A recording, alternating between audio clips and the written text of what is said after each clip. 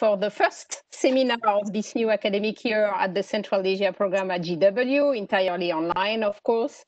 But we are very happy to begin with the book launch uh, uh, on a very uh, important and timely topic, and that we will be we will be discussing that in, in a few minutes. So I would like to welcome our speaker, our discussant, and all the people attending uh, uh, the event. As usually, for those of you who have been attending several of our events, I will uh, ask you to, I will moderate the discussion and ask you to ask your question in the chat or in the Q&A box, and then I will moderate uh, the discussion once our uh, um, author and discussant and myself have uh, uh make some uh, short presentation. So today we are really happy to welcome Luca Anceschi, who is a senior lecturer in Central Asian Studies at the University of Glasgow in Scotland and who has been just publishing a really uh, kind of seminal work analyzing Kazakhstan foreign policy, regime neo-Eurasianisms in the Nazarbayev era.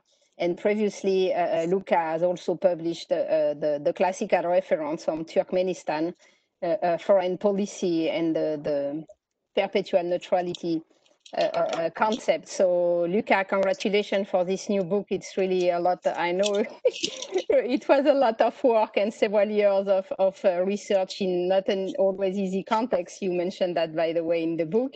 And I'm happy to welcome also as a discussant Nargis Kassenova, Senior Fellows at the Davis Center for Russian and Eurasian Studies at Harvard University and Associate Professor at uh, KIMEP University in Almaty.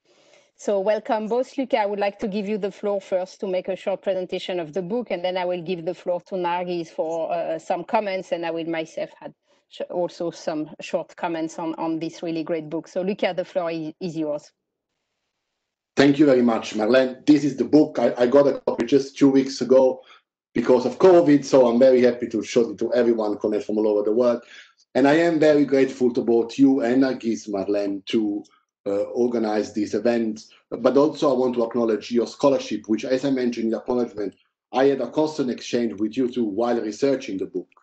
And it's been fantastic, you know, like building on your work to address this issue, which as you mentioned is not the easiest one to go to, mostly because you know he refers to a foreign policy context, which it's not uh, is not really transparent at the best of time, and it becomes really oblique when the the authoritarianism become more uh, hardened. So I'm going to have an, init an initial uh, discussion here, uh, presenting what I reckon are the most important findings of the book. And I'm going to refer to two complete findings.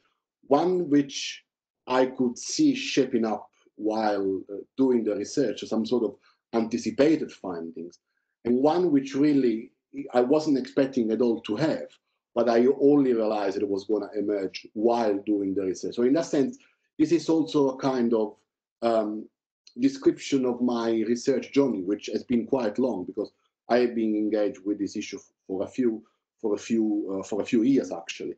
And uh, what's uh, I think before going to the findings, I think that there are two main myths of Kazakhstan foreign policy that this book intends to dispel.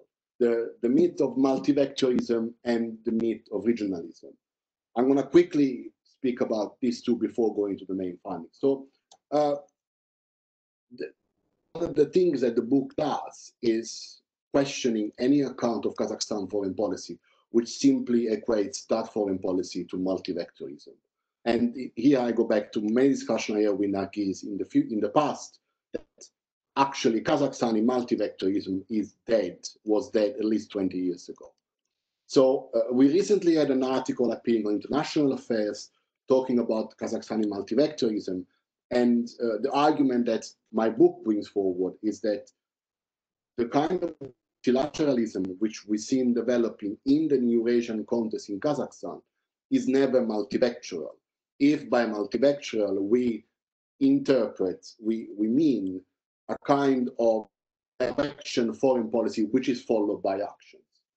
And the book makes a case for the disappearance of Central Asia from Kazakhstani foreign policy in the mid 2000s and uh, other writing which are done on Kazakhstani Gulf relation, Kazakhstani EU relationship, in turn determine how those frameworks lose relevance.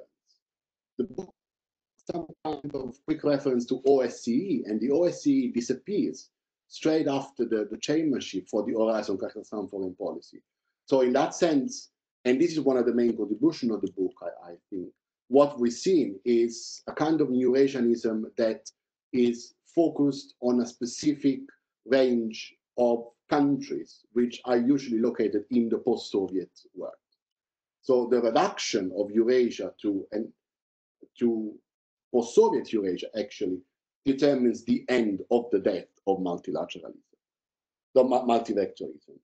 The second myth which this book intends to dispel, which is something which the Kazakhstani propaganda does all the time, is equating Kazakhstan to the bigger integrator in Central Asia. There is a whole chapter of the book, chapter three, that really goes into Central Asia regionalism from the beginning of the post-Soviet era to the 2005, which when Uzbekistan joined Evrazes and whole regional institution collapsed.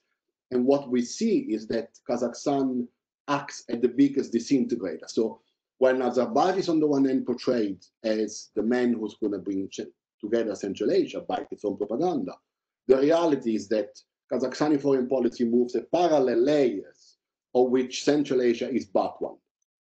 And in that sense, uh, the fact that Central Asia does not allow Kazakhstan to achieve economic benefits with integration, the fact that there are not many image for image making points to be scored by being integrated with, with Central Asia only relegates the regionalism at the very margins, bring it to disappear. And the book goes into the whole discussion about what the Kazakh elite uh, narratives of Kazakhstan say. We, are, we Nazarbayev saying we don't have to be uh, a stand with something else, which is really taking us out of Central Asia in the in a very similar way to that it was done during the Soviet time, in which Central Asia and Kazakhstan were parts of two, two separate regions within the Soviet Union. So this is interesting. In 93, the, the, the regions, the, the, the, Central Asian states talk about being called Central Asia, so being one, and then Kazakhstan, uh, with the Kazakh, toward the Kazakhili narrative, pretty much gets out of fold. So these are the two myths which the, the book really uh, question, but it does too by reading to the line. There is no. This is this is. Uh, it's a study of intergovernment, intergovernmentalism, which this is what the, the book really does. And the, the two main findings that I like to bring to your attention, uh, to people at home, is uh, are one which I, I, could see because as, as, as mentioned before, Marlene, I have been working on other Central foreign policy framework. And it's the fact that regime Eurasian, new Eurasianism is an essentially personalist foreign policy. So the fulcrum of the, the, the foreign policy is President Nazarbayev. Um, because not only is seen as the, uh, the person who uh, carries out the, opera, the implementation of the policy, so the policy actor, but the propaganda, of which I read a lot, actually makes him the person who thought about the policy. So it's, it's, it's portrayed as an Eurasianist, neo-Eurasianist thinker, if you want. Uh, and th there is a whole series of Nazarbayev works which I do quote during the during the, in, in the book. But and of course, most of, of them will be kind of ghost written. But the, the, the idea that we know is that Nazarbayev is a prominent Eurasianist thinker. And uh, the culmination of this uh, union between the thinker and the policy operator is the Moscow speech in 1994, which is the speech in which Nazarbayev talks about the, the imperative of re-establishing a Eurasian Union of equally sovereign states. Uh, the, the, the glorification of the different roles, though, of when it comes to Nazarbayev, actually reveals throughout the, the 30 years which I examined, almost 30 years which I examined in the book, reveals that the capacity of Nazarbayev and of Kazakhstan to carry out a coherently Eurasianist policy actually declines with the withering of Kazakhstani authoritarianism. So the last 10 years have been Nazarbayev long goodbye. And what we've seen is Kazakhstan being less and less able to carry out a consistent uh, Eurasian foreign policy. And uh, at the end of the story, we've seen Kazakhstan involved in a Eurasian but not Eurasianist union, in which uh, is pretty much uh, an authoritarian club, club, with some exception, of course. There are not many economic benefits. And the real issue of determining who's in charge between Kazakhstan and Russia is critical to that kind of association.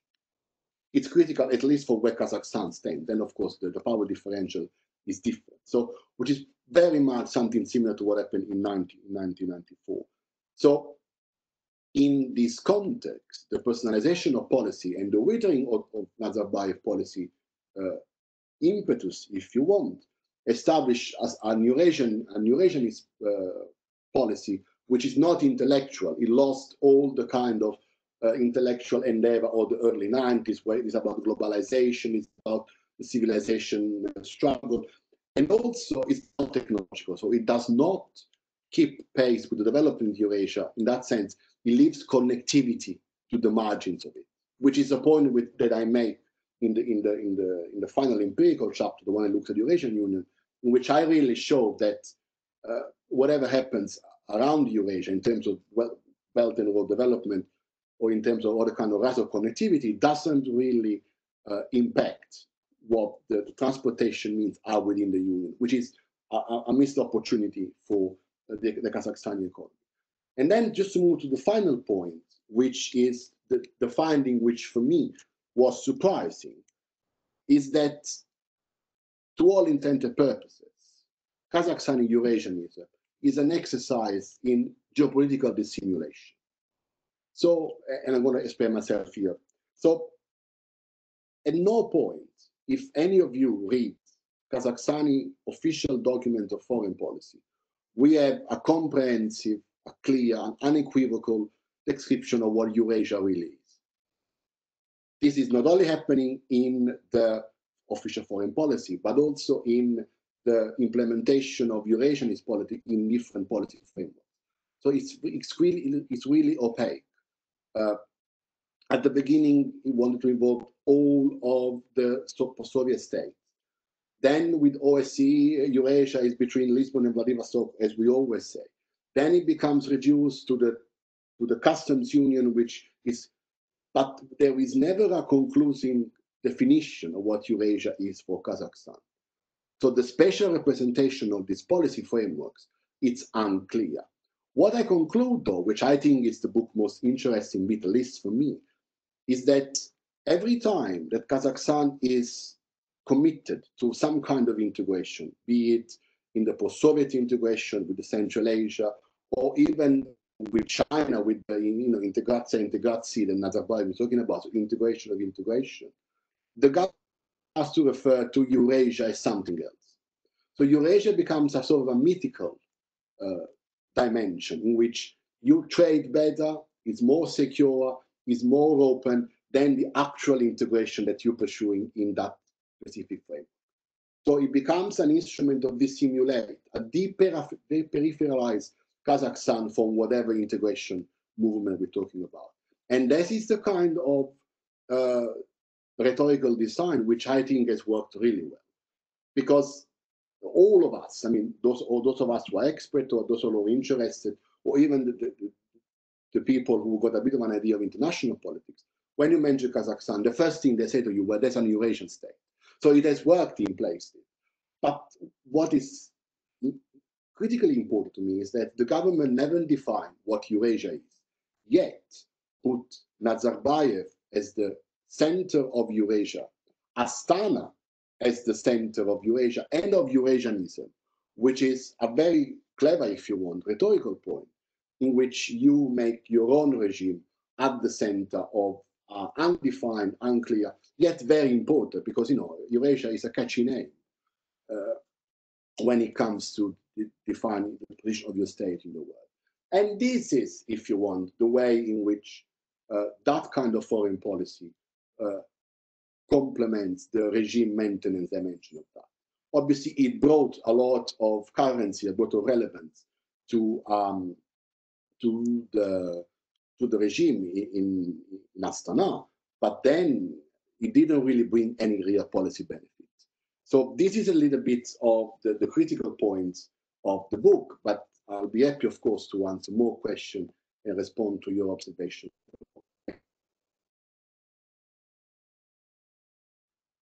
Thank you so much, Luca, for this great presentation. Now I would like to give the floor to Nargis for some of her comments. Nargis. Thank you very much. Um, well, Luca, congratulations on the book. I fully agree with Marlene. I think it's it's destined to become a reference book, and I think it's the only book at the moment that covers uh, this scope, uh, 30, 30, almost 30 years of, uh, of Kazakhstan's independence. And um, I think your choice of uh, key concepts, key organizing concepts, Eurasianism, power, uh, identity makes a lot of sense and sort of gives this very nice frame for uh, analyzing the, um, the evolution, transformation of Kazakhstan's foreign policy during these three uh, three decades. So uh, it's a very solid book. It's a lot of research went into it. Um, it's very rich. Um, I think it puts very bold arguments, and uh, I think it's thought-provoking. Um, it's definitely challenged some of my thinking on uh, on Kazakhstan's foreign policy, um, on um, some things maybe well some things you convinced me uh, on some um, maybe you know i'm you know I, I will actually try to challenge you a little bit in, a, in a minute um, so but but it's definitely uh, it's it's it's an excellent book and i'm very happy i'm very happy it's out so well i can i can continue with praise but i think for the sake of discussion it's better if i try to challenge uh, to challenge um, uh, you a little bit, try to challenge you a little bit. And um, I put up some notes and then I will uh, actually move to the points that uh, that you just made. Um, so, uh, well, the um, the first point I, I want to make is that I would probably um, pay more attention uh, to uh, um, the story to the beginning of Nazarbayev's Eurasianism prior to the collapse uh, to the collapse of the Soviet uh, Union. Um, we know that he played a very important role in the um, in the reformatting of relations between the center and republics, um, in the development of the Union Treaty, uh, and uh, we know about the tensions uh, that uh, the uh, this uh, this process is triggered in uh, along the Europe-Asia divide in the um, in the Soviet in the Soviet space. We know about the concerns in the Slavic capitals that the new union will be dominated by Tibetakas, you know, the, the so basically the Central Asian Central Asian republics. Uh, so there was this hierarchy um, at the time of you know European republics more forward and uh, Asian republics more backward. Um, and Kazakhstan was sort of in between, in between these two uh, two two worlds. Uh, and I think this in between position of the republic um, uh, that it found itself during this late uh, late Soviet period is is quite important for understanding understanding further development. So I, I see sort of the beginning uh, the beginning there. Um, uh, I would also emphasize the change of okay if i move a little bit forward to the uh, to the 90s and mid 90s um, uh, I would want to emphasize the change of Yeltsin government's policies um, toward the CIS and the post-Soviet disintegration and integration um, eh, in the, that took place in the mid uh, around 1990s. And uh, well, when we remember um, when Evgeny Primakov became prime minister of Russia, uh, and attempted to recover uh, recover the Russian positions in the uh, in in Central Asia uh, against the back, background of the disappointment with the West. So so I so basically what I'm trying to say to say here is that yes.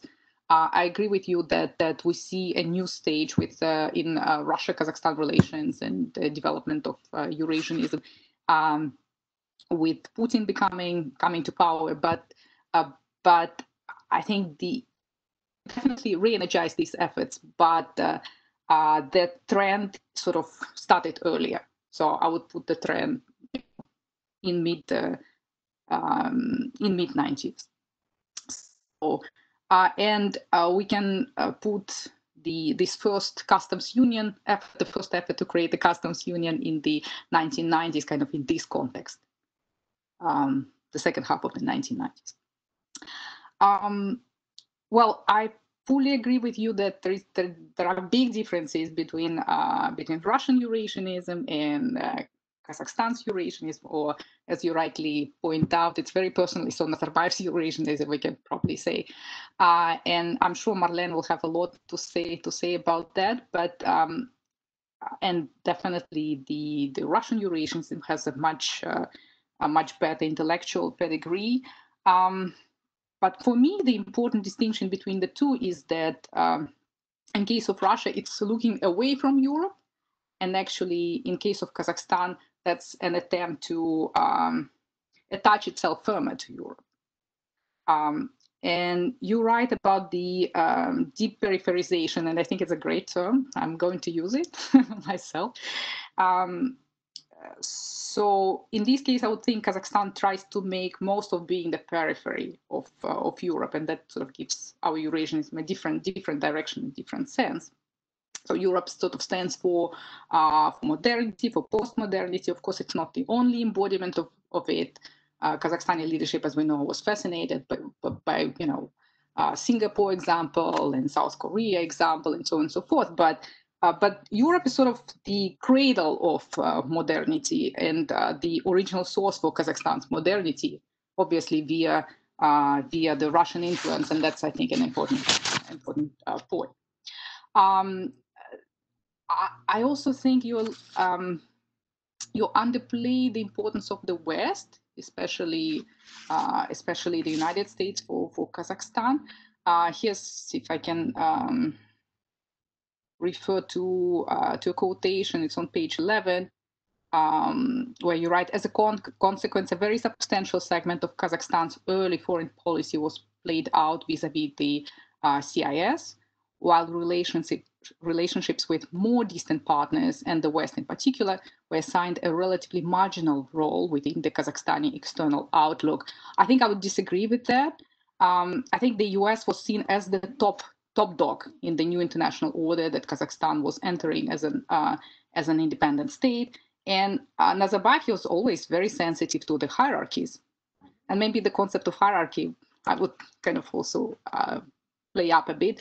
Um, and he he was sort of this cosmopolitan. He saw himself not as a regional leader, you know. He he saw himself as a leader of a practically global global scale, you know, on par with Lee Kuan Yew, Ataturk, and you know Churchill and uh, and uh, whatnot. So so basically, in this hierarchy, he was trying to place himself as high as possible in this kind of international hierarchy, not in the Eurasian uh, in the Eurasian space. So, um, and I think it was important for um, for Kazakhstan's leadership that the U.S. was very active in the uh, in the post-Soviet space in the 1990s. It was ready to support the newly independent newly independent states uh, help them um, build foundations of their sovereignty. Uh, well, in general, and vis-a-vis of Russia, obviously, that's that's very that's very important. So that that that effort uh, um, was much uh, much appreciated. So Kazakhstan-U.S. relationship was not just about denuclearization and plus well the energy issue, Chevron, and, and so on. It was you know just a, a pretty fu fundamental for uh, for um, for the leadership of Kazakhstan. Um, so so basically, I would say I would argue that throughout the three decades, it's been a very complex game uh, for Kazakhstan's policymakers how to engage with Russia in a positive way. Uh, sort of hug the bear so he doesn't he doesn't hurt you, um, and integrate with the rest of the world. And you write about this, the integration with the rest of the world, and I think it's it's very very important. Um, particularly with areas that were considered more de more developed and higher in the international uh, international hierarchy. And I think it's telling it's a telling detail um, that even the Eurasian Union idea um, that uh, well you you write a lot about it in the in the book. It was actually first announced in London uh, at the Chatham House event, not at home in Almaty or um, uh, or or in Moscow. So so kind of the international audience was uh, was important.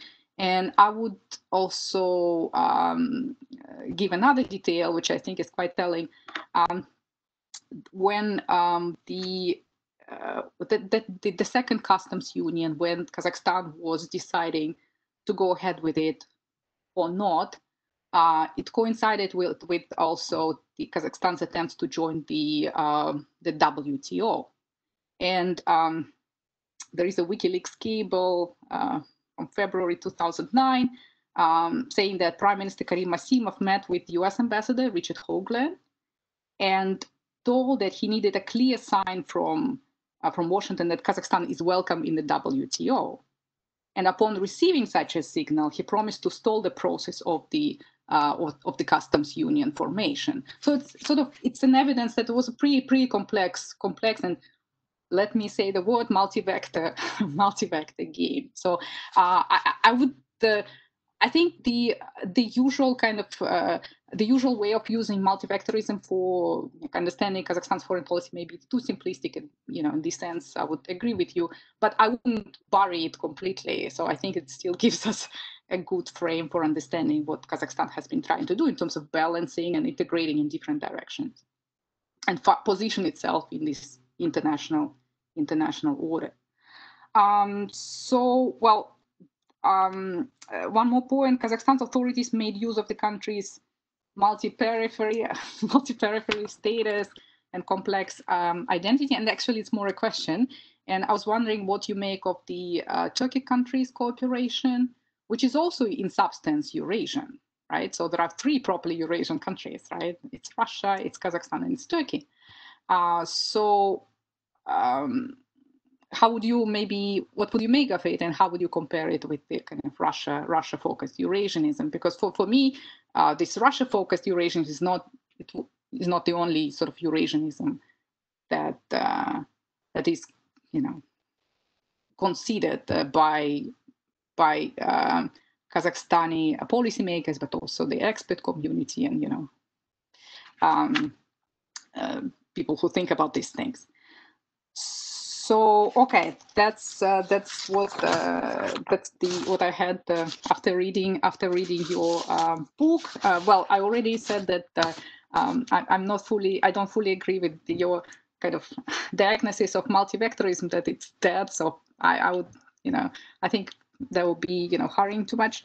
Um, uh, regionalism i fully agree with your with your analysis. Definitely central asian kind of vector lost um, became much less important. But but we need to understand that it emerged in the early 90s due to the kind of uh, due to the disappointment of you know of this Eurasian integration that Kazakhstan was trying to do, right? So we were kicked out of the ruble zone basically until the last moment. Nazarbayev was hoping that we will be in this, you know, one ruble zone with uh, with Russia, but Russia basically kicked us out, uh, not keeping the promise. So it's kind of okay. You need to survive. Okay, let's let's sort of try to do it together with the uh, with the neighbors and um, and that that very quickly lost steam. You know, I, your analysis of regionalism, I think it was quite spot on. Uh, but we see a bit of a revival in the last uh, in the last in the last years. Um, I fully agree that Kazakhstan's Eurasian is very personalist. It's you know Nazarbayev, basically Nazarbayev sort of monopolized in a way the the, uh, the, the discourse, and it's quite elastic, uh, which which I don't think is a big um, big drawback in a way because it's uh, there is a lot of political expediency in it, and you know sort of your your maneuver and you kind of adapt this thing, but uh, um, I will leave it to Marlene because she's an expert on Eurasianism. So um, the the fact that uh, it's in decline, it's in decline with the uh, retirement of Nazarbayev and also the the maybe the you know kind of decline of authoritarianism probably in in Kazakhstan. Uh, but I would expect a revival in a new form um, of Eurasianism, but let's see how, in what form and not. So, so uh, definitely in the form that we have seen it so far, it's it's it is in decline. But uh, uh, but let's I, I, I wouldn't discard it completely. I think it will we will see. You know, so it will be a phoenix. um, phoenix revived, coming back to life. Uh, on connectivity, um, I, I, don't think it's at the margins. I think connectivity is quite central uh, for for Kazakhstan thinking about you know what it needs uh, what needs to do. Uh, and uh, the the reason is not an easy kind of uh, uh, it's not easy to combine Eurasianism Eurasian integration whatever with the with the Belt and Road Initiative but that's not it's not so much the fault of Kazakhstan. I think it's more it's more due to tensions between um, I don't know if tensions is the right word, but but basically what's ha- what we see in Russia-China relations and Russia's level of readiness to be part of it or, or not. So so I I would kind of, but that's probably a different discussion. So okay, thank you. Thank you so much, Nargis, for your comment. Let me also give some uh, uh, um, few comments on, on this great book and then give the floor back to Luca so he can answer some of, of our uh, comments and then we will open the floor for questions. So yeah, Luca, congrats. It's really, it's a great book. It's a unique book for Kazakhstan. And when I was reading it, I was thinking, you know what? We even don't have the same for Russia. We don't have the work on Russia's Eurasianism as a foreign policy. So, so you did really something that, that I think is really is a, is a major work. I will be commenting mostly on the, the kind of the intellectual construction and the relationship to Russia because that's where I, I'm.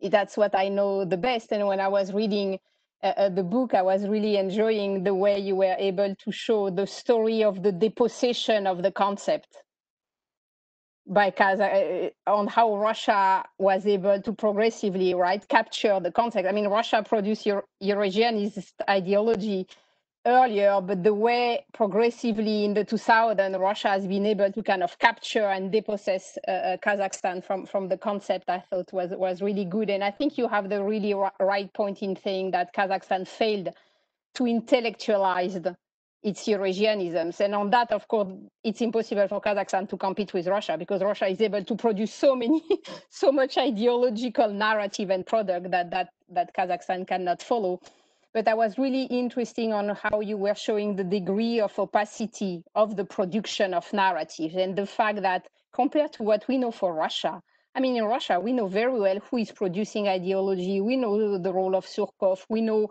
who buy what, who gets presidential grants, which kind of group get money, how they compete with each other. We have very less knowledge about how it works on the Kazakh side, the production of kind of ideological product.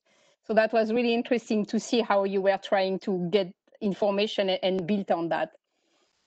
And I was yeah, hoping or waiting to see more Kazakh names appearing. And when you were explaining that all these Sabisiedniki around Nazarbayev were more or less like Dugin, Panarin, and then at Maitov, and I was, and of course not Suleimanov for reasons you are very well explaining, I was thinking that you still have this kind of feeling of intellectual inferiority. I mean, to have Dugin and Panarin invited to kind of give discussion, even in 2004, having Kazakhstan commissioning a book to Dugin to celebrate Nazarbayev Eurasianist mission, that's really saying a lot about this feeling of not having enough at home to be able to produce the same book or still, you know, kind of very still post-colonial impression that if it's produced by someone in Russia who has some opening in Moscow, then that would be more prestigious than if the book was produced by someone in Kazakhstan. So I think that was really uh, uh, interesting, and the way you explain also the the the, the kind of um,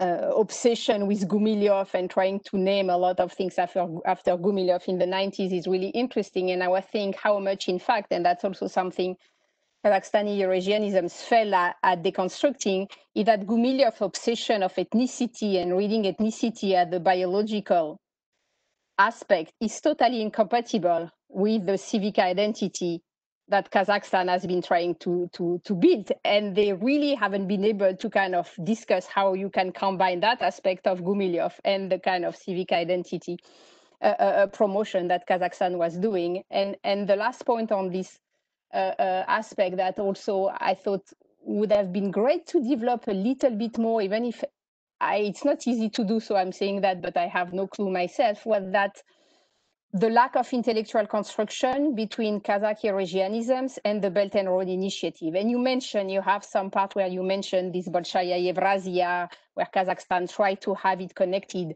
but it's really it's really low level of kind of intellectual construction. Russia is also having trouble connecting this Eurasianism with the Belt and Road.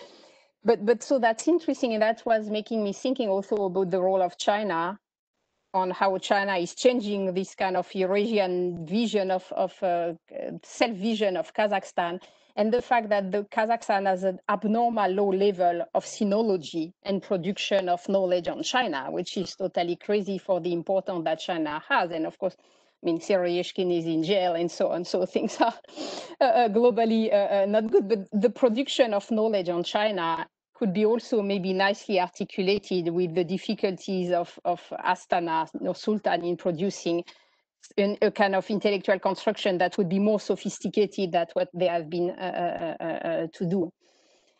Uh, uh, last point on, on, that aspect is something you mentioned I think is very good is how Kazakhstani Eurasianism is a reproduction of Soviet internationalisms. And I thought you could have been developed on that because that's really an interesting uh, uh, aspect and I was thinking about the assembly of the people, you know, as really a way like the friendship between people, how it was articulated.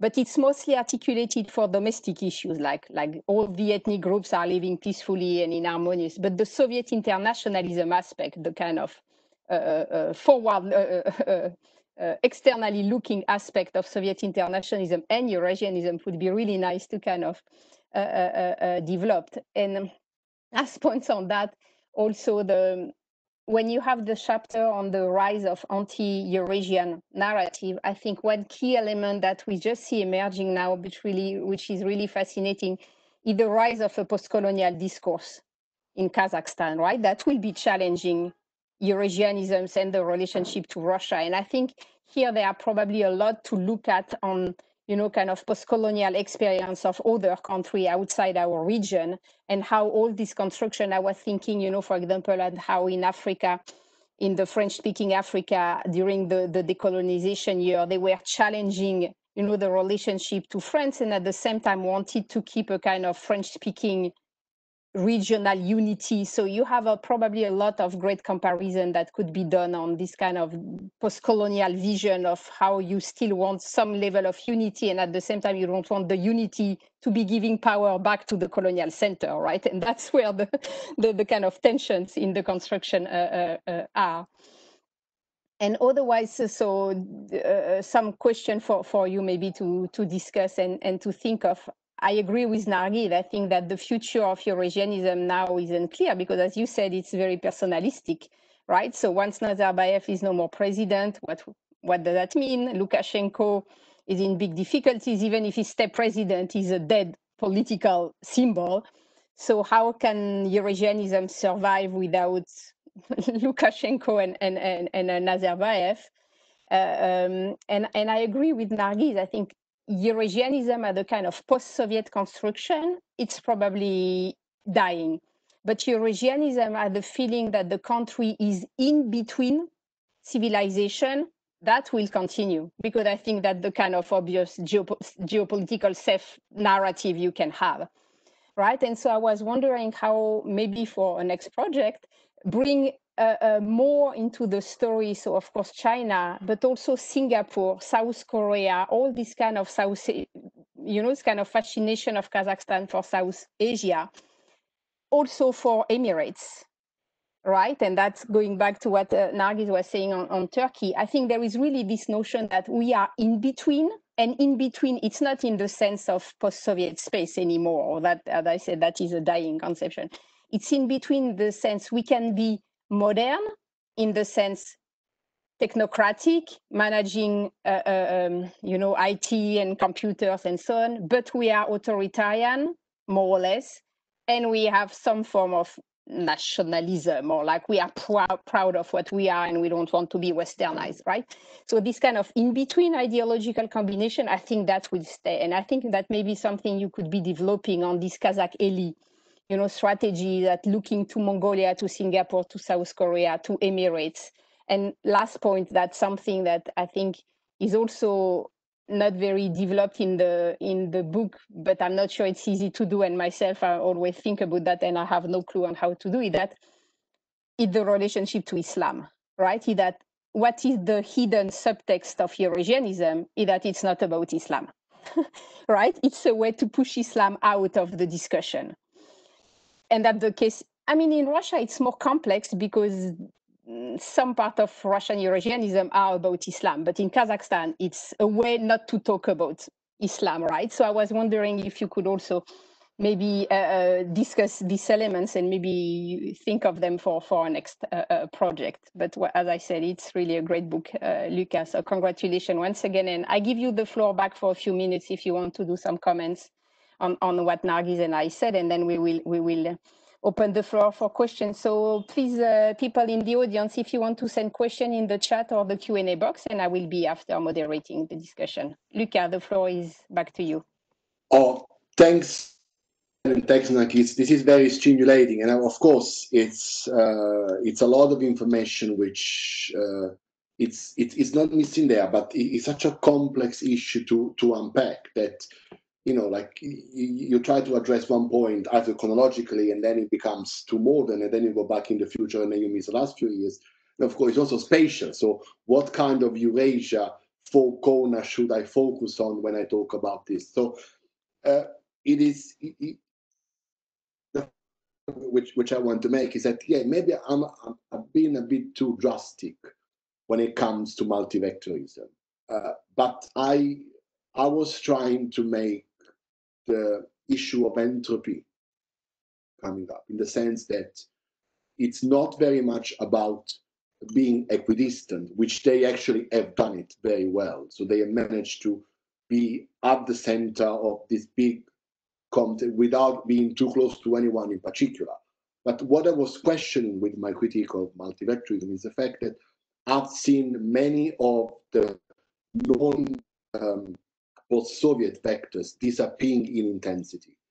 And of course, this it's not just because of Kazakhstan, but it's also because, and as you you're right, Nargis, I should have put more time on the West. But my experience, because I wrote an article on Kazakhstan-EU relations, was that that kind of relationship ended up quite when Nazarbayev realized that there wasn't any kind of prospect for entering the neighborhood policy. So there was there, there wasn't expansion possible in the way in which Kazakhstan would interact with the European Union. So in that sense, the the the signature, the upgrading of the PCA was the maximum they could get, and they did get that. So, uh, but on the US, you're absolutely right, uh, which goes back to your point about should I focus more on the last of the Soviet times? I should have, especially you know it, um, because uh, I made a point that you know, like when I talk about the, the Almaty summit in in the, the, dying days of the Soviet Union, that it is true the the Eurasian order, the post-Soviet Eurasian order, is born in Kazakhstan because the, that where the, the CIS declaration was signed. But I didn't really expand on that, I mean, mostly because of space. I must say, you know, like it's kind of it. The chapters of the book actually are quite wordy, and you know, and I spend a lot of time being an editor, you know, I always tell the authors, you should write shorter papers, and I end up with 15,000 word chapters. So it was kind of problematic for me in, in, that sense. Uh, uh, one thing which I uh, didn't really know about it, and I'm very grateful for your comment, Mike, is, is the Yeltsin role in all of this. Um, obviously, my perception was skewed, was flawed. Uh, I should have really looked much more into but the thing is that I didn't really want to look into Russian documents because then I would have opened a can of worms. Because I and I go back to, to Marlene's point now is that when you, when you when you look at the production in terms of Eurasianism, discourses on Eurasia, elite talking about Eurasia, Russia, you can't beat Russia. So you end up having the kind of uh, immense material that really you to be analytically fair, you had to give the same relevance, and it would have been a totally different book. Uh, before I move to the Turkey, to the Turkey question that you had, Nargis, I want to make one point which I promised I mentioned before because I had a discussion with Marlene at some point at a conference about do we have other Kazakhstani writers about Eurasianism? And obviously, this is not a book about um, popular culture, and also I don't read Kazakh, so I couldn't really go into that. But reading the, the, the large numbers of documents which I had, I identified, and, and I mentioned them in the, the conclusion of the book, three or four people which really do a lot of legwork for Nazarbayev. And of course, they are all organic to the regime. You got Bulat Sultanov, which is a, a think tank, so Rafid, a colleague of ours, which spend a lot of time exposing the party line. And I read his, I read his Russian writing. So, uh, and then you have the, the, two, the more politicized, the more internationally prominent writers, Tahir Mansurov and Hikmatjami Singarin, which has spent a lot of time actually talking about how that Eurasian vision, which of course always changes, never the same, actually can be implemented multilaterally within the Russian context, within the post-Soviet context. So there are a few people which have done some kind of uh, writing, but it, it, it is not too dissimilar from what you, you find Nazarbayev writing in, in innumerable books on uh, And now I just try to put all of your issues like together now because I think that you are right, and this you made the both of you made the same the same point in very different way. Is that I mean I didn't really talk about disappearance of the Eurasianist idea. I talk about the decline, and for me the decline again goes back to the issue of policy entropy, how much you are able to uh, carry out that policy visibly. And in the last 10 years, we've seen less and less bigger from the Kazakhstani issue which transformed, I would say, the focus potentially of this Eurasian idea. And what Marlene, you call this in-betweenness of Kazakhstan, being part of something else, I think you, I agree with you, is a theme that uh, that will be more relevant in the next few years. It, in the in the the last point, the very last point which I made in the book is that uh, Eurasianism is there to stay. There's not going to be a change. This policy is going to be staying as part of what I see the regime center of the, the foreign policy. So we're not going to see a non-Eurasianist Kazakhstan. But you are probably right. The next chapter will be how uh, Kazakhstan interacts with other parts of Asia. And uh, I've done work on the Gulf, which is kind of has been mentioned, and actually, I, I, did some writing on Kazakhstan, Gulf relationship. And uh, to address one of your points, Marlene, Islam is not an issue. Not an issue, not because it's not important, but because the political sensitivities of the Kazakhstani regime in particular are actually uh, preventing the, the establishment of that kind of. So my guess is that we will see the evolution of the Eurasianism in a a secular context, not of a religion. I mean, some of the most interesting interviews I made while researching the book were about Tengrism. And, you know, is spirituality there, but, and you see some, some references in the, in documents about being Tengris. Of course, this is not as pushed to the extreme as the Turkmens have done with neutrality. You've seen some kind of uh, more spiritual issue uh, coming up. Uh, what I am not sure is that uh, how uh, you going to, you in, in terms of Kazakhstani diplomat policymaker, how you going to adjust what really are your image making uh, points interacting with the rest of Asia.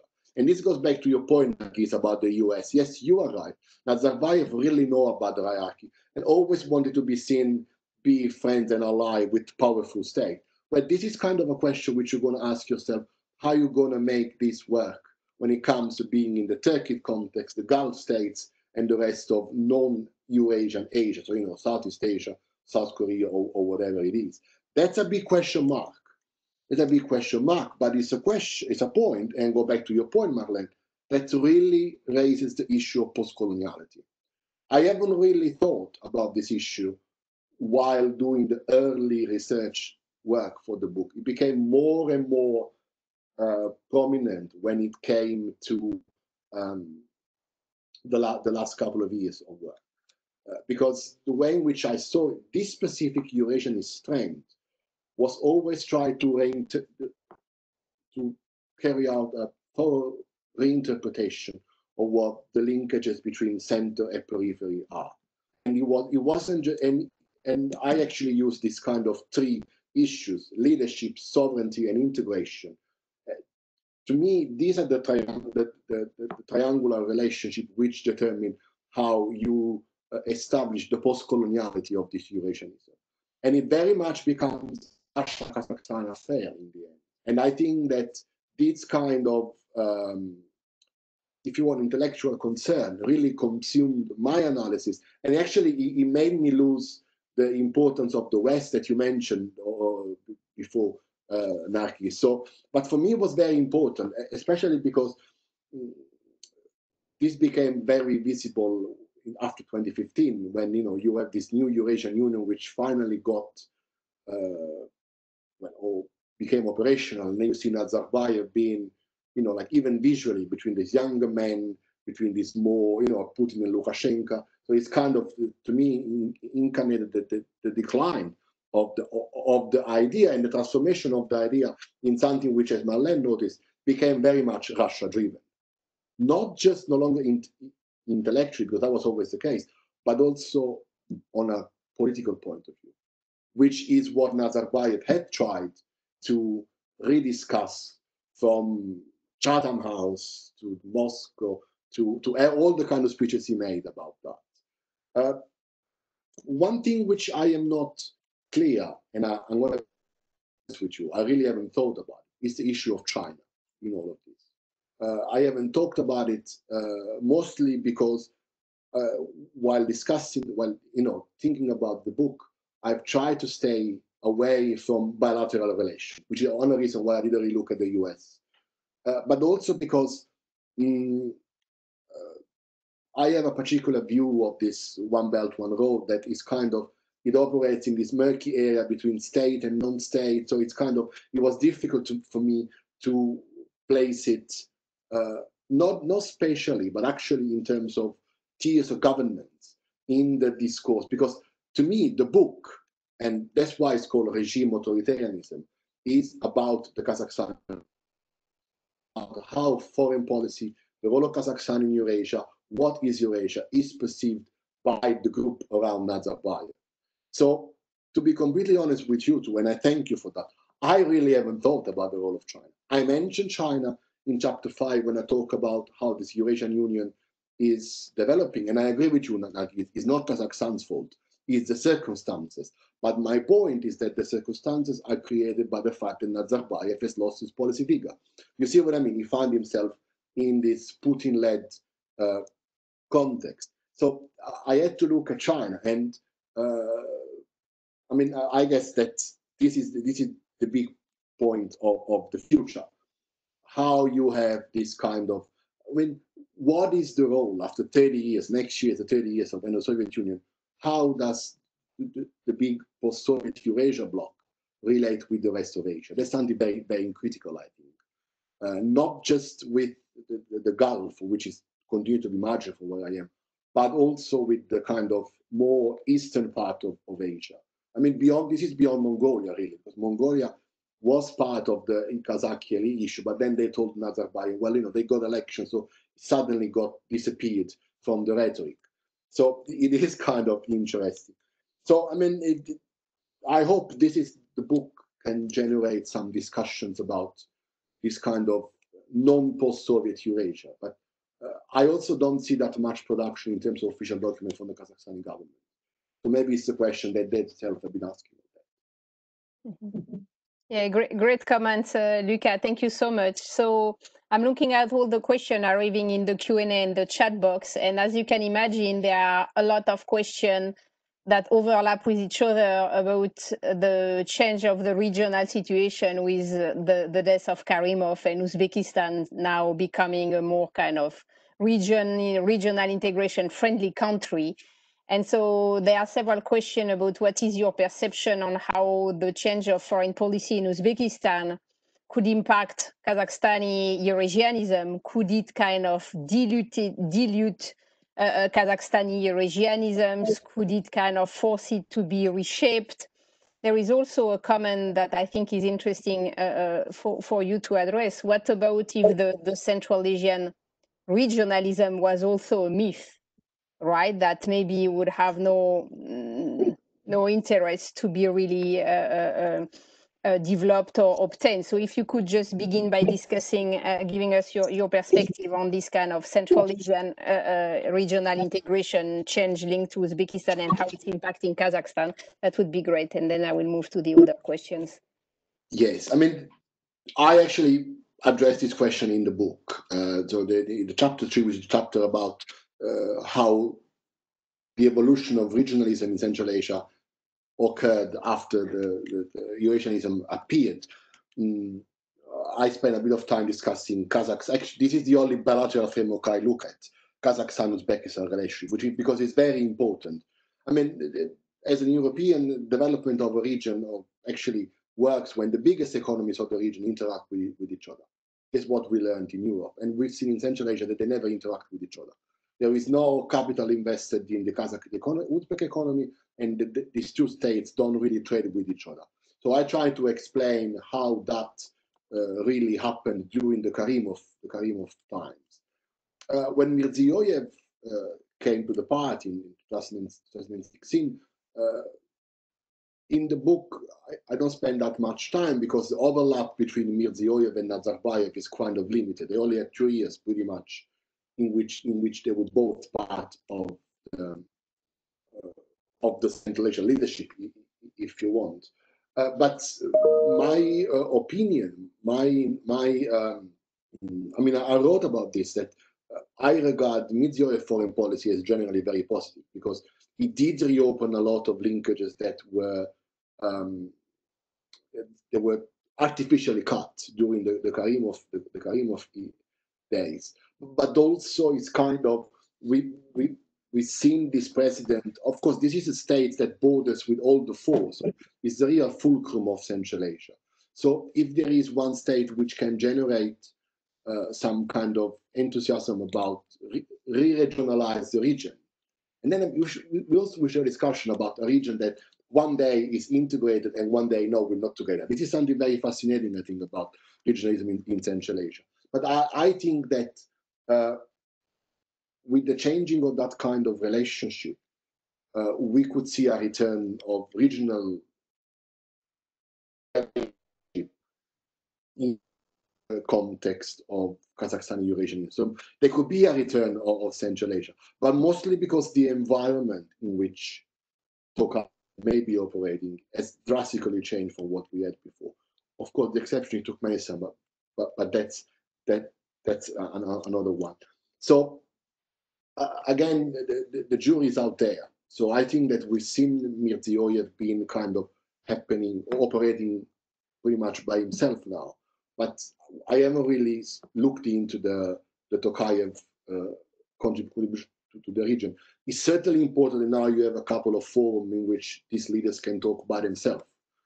Uh, but it's not to prove my point, it's because I continue to maintain that Kazakhstan has been the biggest integrator, even though I agree with the comments that Central Asia as a region wasn't it was overemphasized because of course it was easier to explain that part of Asia by saying, well, these states are very much the same. They should be part. They should be a region.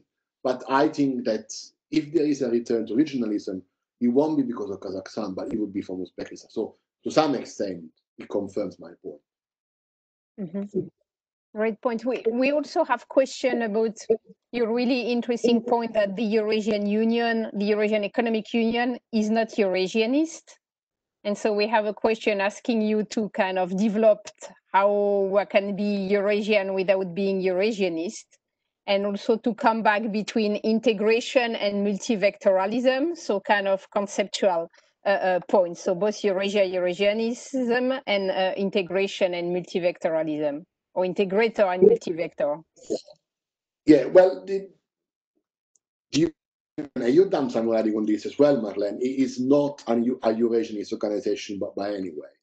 The mm, the, the, reference to Eurasia is, is only geographical because they, they don't know how to call it. They can't call it post-Soviet Union, so they call it something, they call it in that sense. Uh, the, the problem is that if you if you read, as the book does, Kazakhstani propaganda on the integration of Eurasia, there is a strong component of neo-Eurasianist thinking there. And this kind of thinking has completely disappeared, but in this organization, which has become a merely pragmatic point of, uh, if you want. I mean, I'm not even that negative about what they're doing because, of course, it's early days. You can't compare to the EU. The EU is 70 years been there. These guys have been on the last 10 years. But the point is that it has become, it is up to Crimea, it has become very different from what we expected that to be. Uh, I thought that the development of single market in the Eurasian context, you know, with the, the second custom union, as Nargis mentioned, actually made sense. Uh, I didn't really understand why Kazakhstan wanted to join the WTO because they mostly trade in resources. What's the problem? But I thought that that kind of integration was more thing. Of course, when Putin, you know, pushed for that kind of post-Crimea integration, this became a more realist instrument rather than a merely economic functioning system. So that's why I think that he lost every kind of Eurasianist component. Nazarbayev agreed to the minimum common denominator, they're just doing the basic things. Energy is out of that kind of framework, which is very significant when you have Russia and Kazakhstan as economies very big energy producers. So it seemed to me that uh, it became, I wouldn't really say, but that's the only thing that came to mind. It became a glorified CIS in that sense. They do a bit more with less enthusiasm and certainly more pressure coming from the top. Uh, of course, the, the, the, issue between integration and multivectorism, uh, again, I think that the, my point about multivectorism is the ability to carry it out with, the, with similar emphasis different policy vectors attracting the interest of different regions. And I, when it comes to the intensity of this, I, ever, I really haven't seen any other region comparing with what happened with the post-Soviet, uh, with the post-Soviet world, if you want.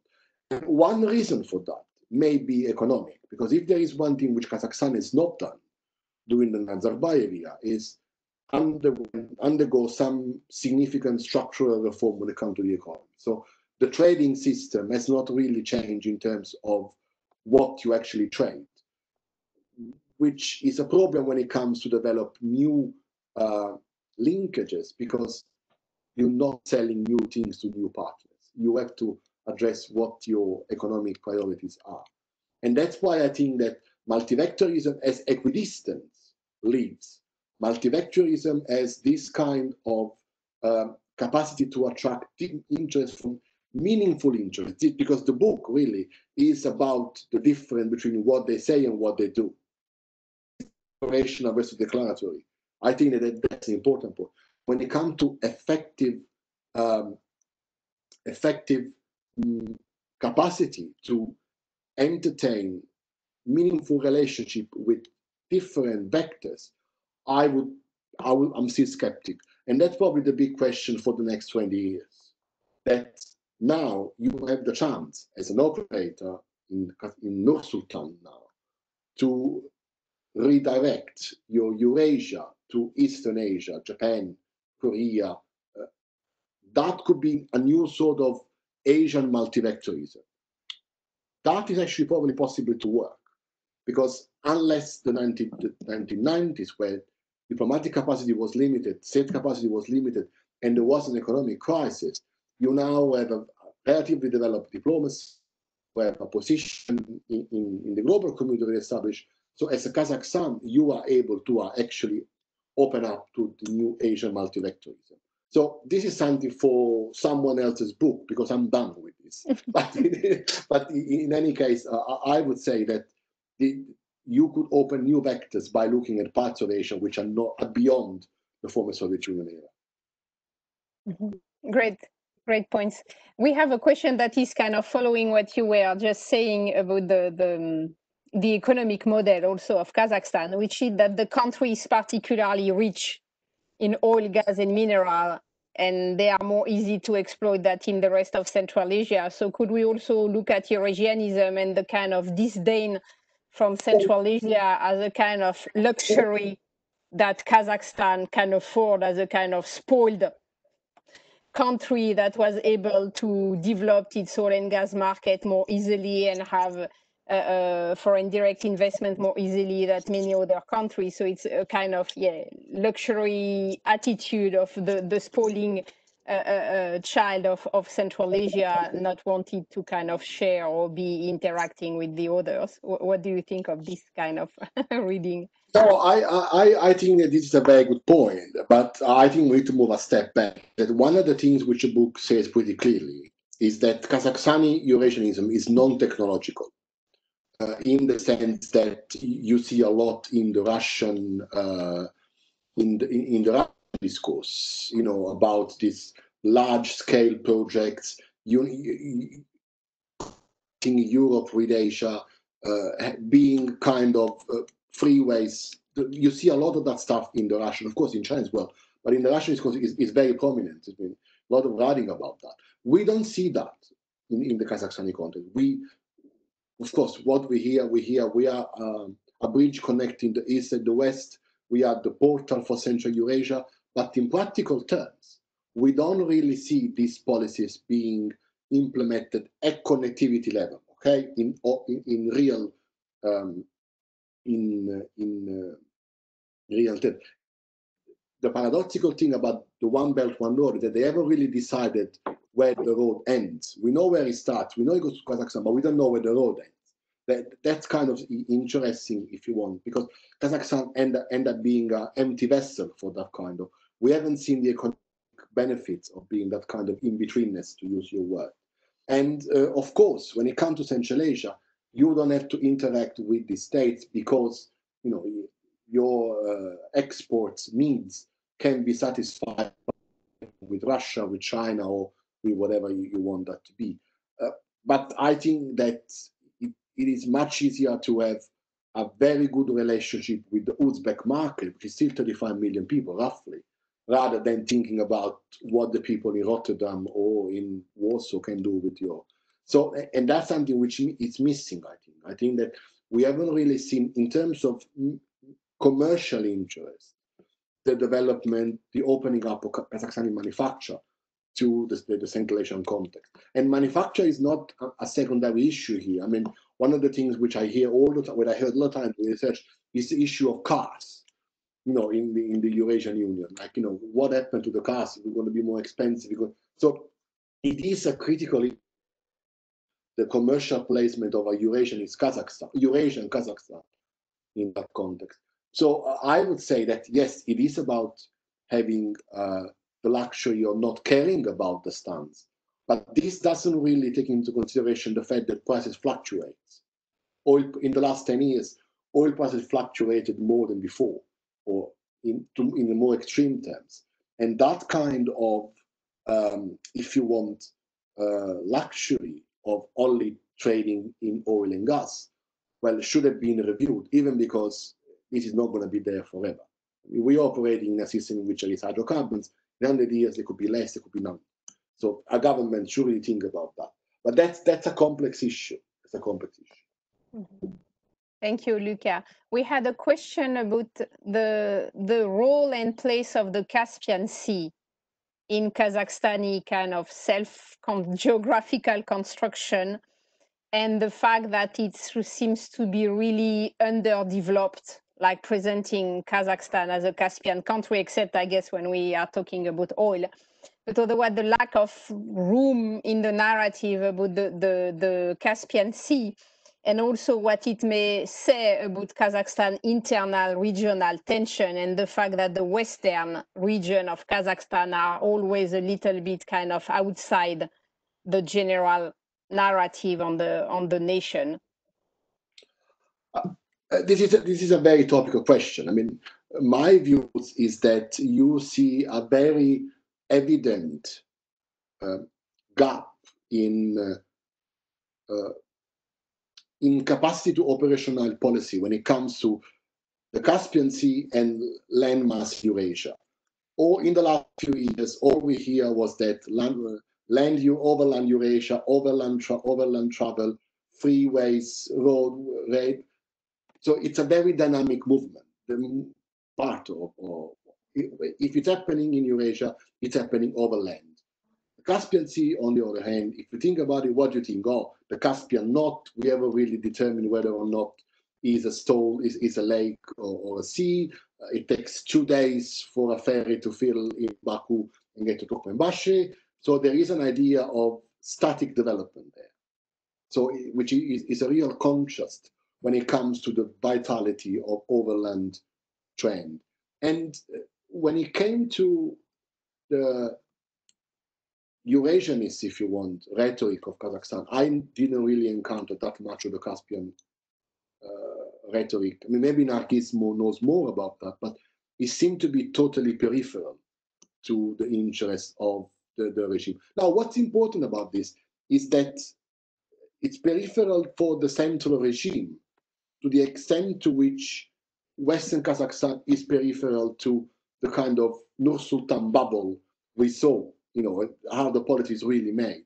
And you are right, uh, Marlene, you got this alternation between central Kazakhstan and peripheral Kazakhstan when it came to the uh, to, to, to, the Western Oblasti there. But I would be very curious to know what Nargis hears about this because I haven't really, I would have liked to have more on the Caspian Sea, but I haven't really he, heard anything that places that body of water, water when it comes to the um, Eurasian idea of Kazakhstan foreign policy. Nargis, would you like to add? Uh, well, uh, yes, I, I agree. It's not really uh, part of the uh, kind of of the Eurasianist discourse, but uh, uh, but the Caspian is very important because it's a sort of an entry to to Europe, to the Middle East. so um, and a good amount of resources was has been invested in opening up this kind of entry.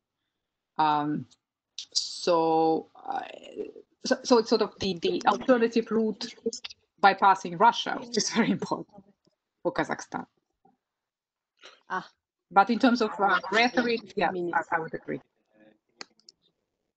Uh, no, um, sorry. um, we have other uh, uh, question also on the Eurasian Union as being, in a sense, the only room of maneuver given to Kazakhstan to try to create something that would be post-Soviet in the relationship to Russia, like like the room of maneuver that Russia led to Kazakhstan is quite small. And so the Eurasia, could we interpret the kind of Eurasianist mission as a way to both bargain with Russia and at the same time trying to create a space for Kazakhstan that the country could be playing on as a brand for a time, kind of post-Soviet time when Russia will be less important or less kind of pressuring. Oh, absolutely. I think this is a this is a, an effective reading. At least I wanted the, I kind It seems to me that what we have is the the mm, and we were making before Marlene talking about how this uh, how Russia reappropriated itself of the Eurasianist discourse. It wasn't just happening rhetorically or intellectually, but also very much uh, politically, which, you know, Nargis observed that that went back to the Yeltsin era. Uh, for me, the book argues that it was very evident in the sort of second to later Putinism movement. So it seemed to me that yes, the, the, there is uh, the progressive issue of asphyxiation of what Eurasia is available to Kazakhstan. It, it, it shrinks. The, the Eurasian, uh, the possibility of integrating meaningfully across the Eurasian continent shrinks quite visibly when it comes to relationship with Russia because Russia interprets its role in the continent in, in a more assertive way. Uh, it becomes more that, that kind of integration in that kind of uh, of that kind of uh, framework. And that actually uh, is important to the extent to which Kazakhstan found himself where is it now, which is not cornered, but kind of operating in a system which, had you asked Nazarbayev 30 years ago, probably wouldn't have been very, uh, how to say, very uh, connected to his possibility of the leadership aspiration. Because it's not just about integration, it's also about leadership.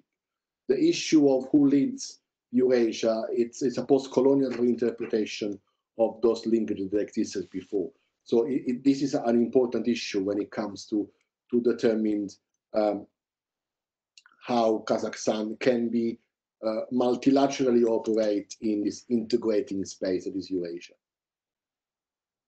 Great. We, we just have like uh, less than 10 minutes left, but there was a question that has been in fact mentioned by several people. It's not part of your book, but I guess you, you several times make some comments, allusion to that, which is how it is received by the public opinion and what do we know about the way the public opinion is kind of buying this eurasian or eurasianist destiny uh, uh, uh, for kazakhstan and how it is seen by the public opinion as very much connected to the regime or as something that is connected to the country itself it's a tough question because what we know about the public opinion is not uh, easily it's not easy data I mean, here you have two possible readings, and I'm actually interested to know what the two of you think about it because I know you, the, the both of you have done work on that.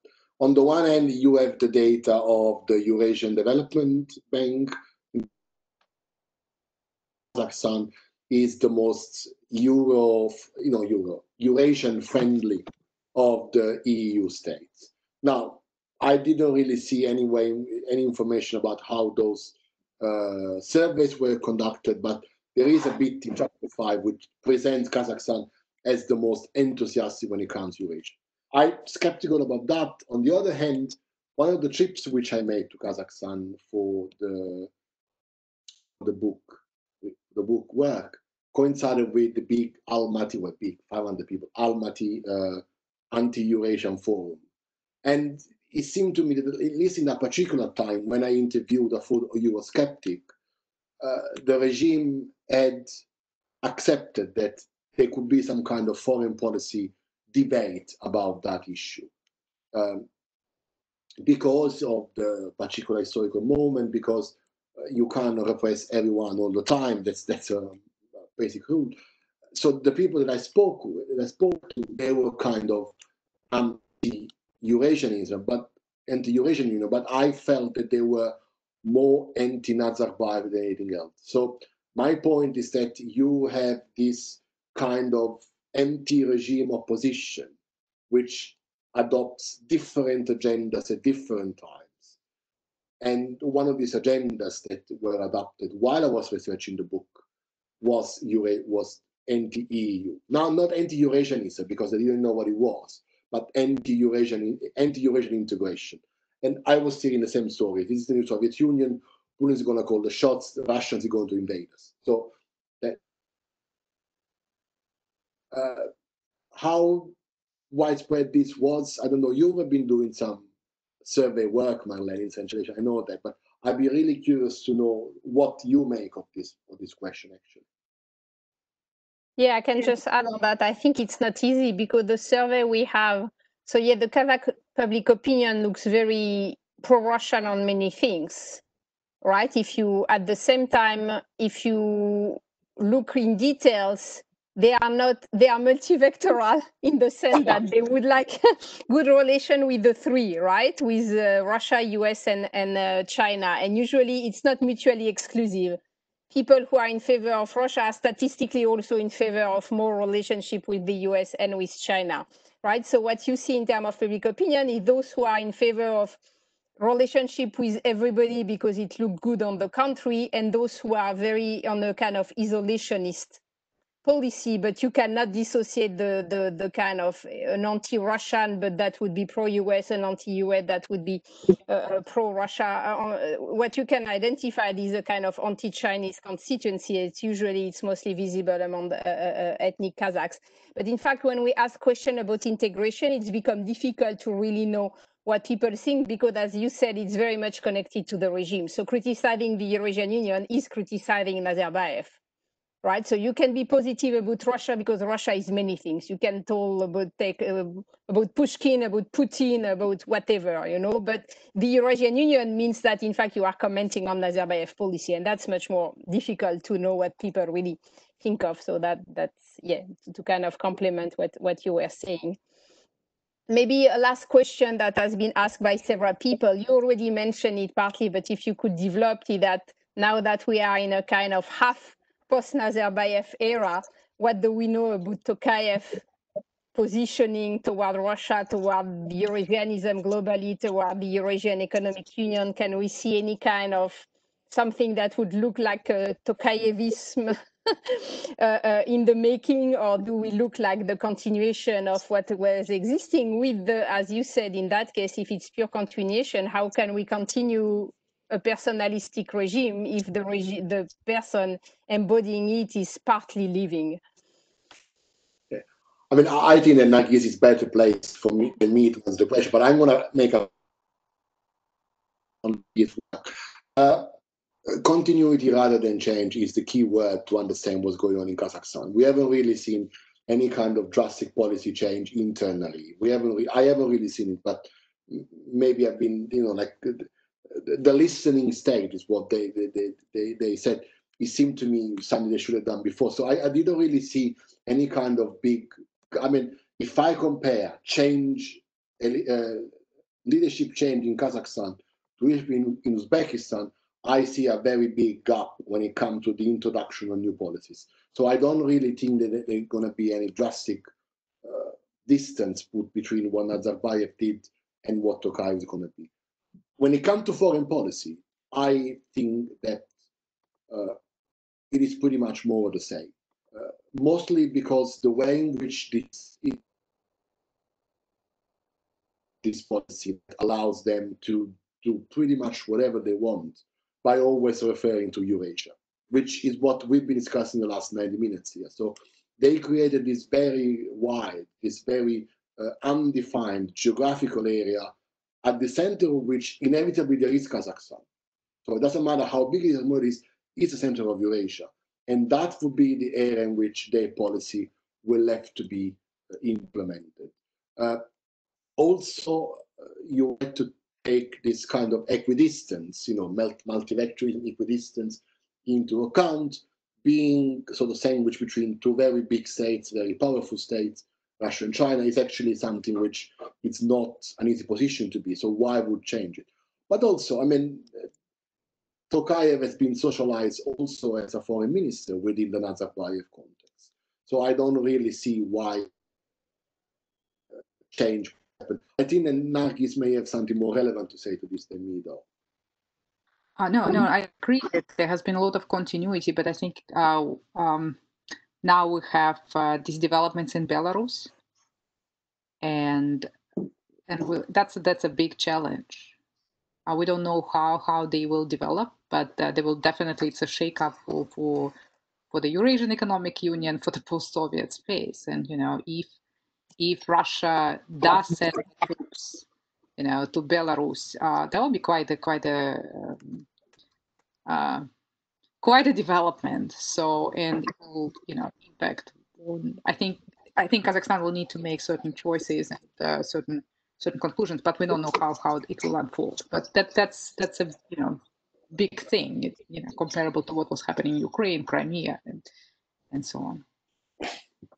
Well, great. Well, with these comments, it's time for us to conclude that uh, uh, discussion. So I wanted to thank Luca and congratulate him once again with this really great book that will i'm sure you will have several book launch and reviews will be also coming it's really a, a masterpiece for us to understand better uh, kazakhstan and the world region so congratulations once again And thank you, Nargis, for your comments, and thank you all uh, for participating in the discussion. And please stay in touch with us. We are resuming our event, so there will be more uh, soon uh, to come on Central Asia. So once again, thank you, everybody. Stay safe, and then hope to see you once again very soon. Thank you. bye bye. Thank you again, Luca and Nargis. Thanks lot. Congratulations.